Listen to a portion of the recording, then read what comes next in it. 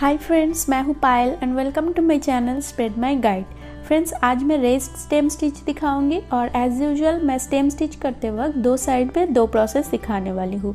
और हर एक वीडियो में मैं कोशिश करती हूँ एक स्टिच का एक दो एक्स्ट्रा मेथड आपके साथ शेयर करने की तो वीडियो देखते रहिए।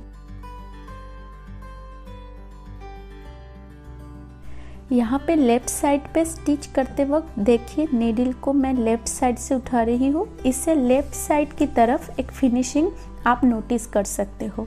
और राइट साइड के वक्त वही फिनिशिंग राइट साइड की तरफ़ आएगा।